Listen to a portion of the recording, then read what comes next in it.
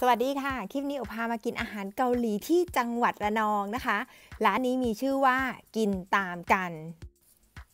กินตามกันเป็นร้านเล็ก ๆนะคะ ให้ feel เหมือนกับไปกินอาหารเกาหลีบ้านเพื่อน ร้านเขาสะอาดมากค่ะ ถ้าใครชอบปิ้งย่างสไตล์เกาหลีมาที่นี่ไม่ผิดหวังเลยค่ะ เขาก็จะมีให้เลือกตามไซส์นะคะ ไซส์ S ไซส์ M ไซส์ L จะกินเป็นชุดหมูปิ้งย่าง หรือว่าถ้าใครชอบกินเนื้อก็มีเนื้อด้วยนะคะ พอเรามานั่งที่โต๊ะนะคะเขาก็จะมีจานชามช้อนซ่อมตะเกียบมาให้ พร้อมกับน้ำจิ้มและเครื่องเคียงต่างๆ แล้วก็ยังมีผักสดๆมาให้ด้วย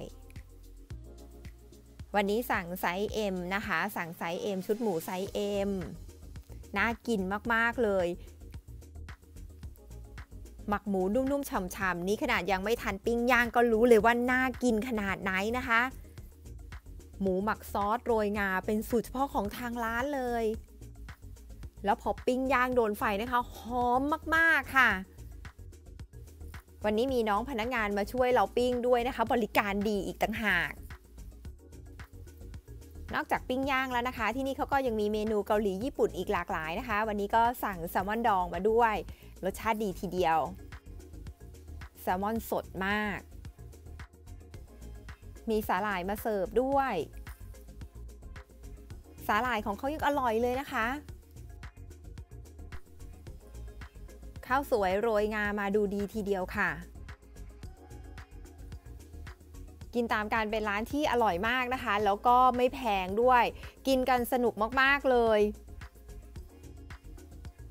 ได้สารอาหารครบถ้วนนะคะ มีผักด้วยค่ะ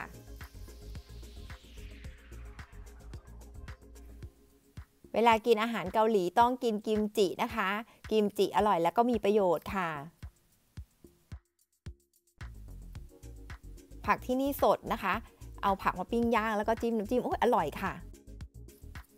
เราก็กินจิ้มย่างวนไปเรื่อยๆนะคะ มีความสุขมากค่ะ มากินที่ร้านกินตามการละนอง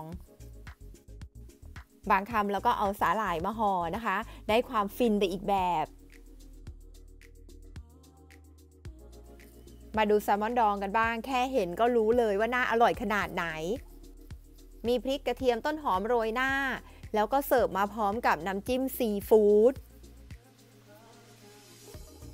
แซลมอนดองจิ้มน้ำจิ้มซีฟู้ดรสเด็ดโหอร่อยอย่าบอกใครเลยค่ะ